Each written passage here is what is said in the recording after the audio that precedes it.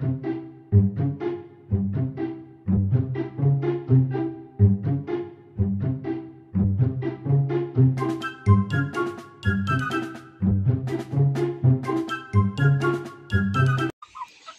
coq, une poule, un coq, un coq, euh, peut-être une poule, un coq.